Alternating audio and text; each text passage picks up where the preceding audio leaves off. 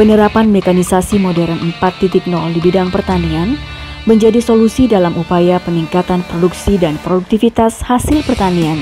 Di antaranya adalah drone penebar benih padi, memiliki kapasitas 20 kg gabah, mampu menebar benih dalam waktu 0,8 hingga 1 jam per hektar.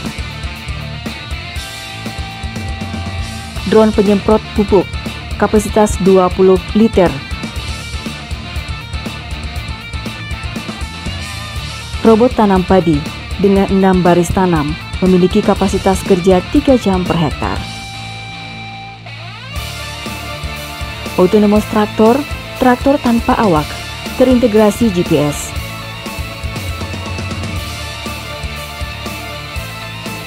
Smart irrigation berbasis IoT meningkatkan efisiensi kerja.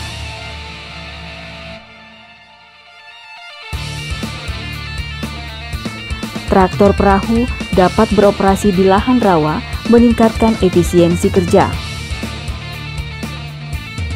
Alsin panen dan olah tanah terintegrasi, dua proses kerja sekaligus, yaitu proses panen dan olah tanah. Upja Smart Mobile, aplikasi berbasis Android, memudahkan petani dalam proses usaha taninya.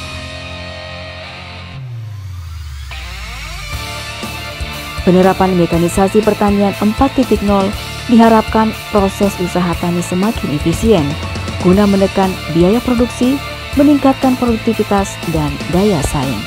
Jayalah pertanian Indonesia.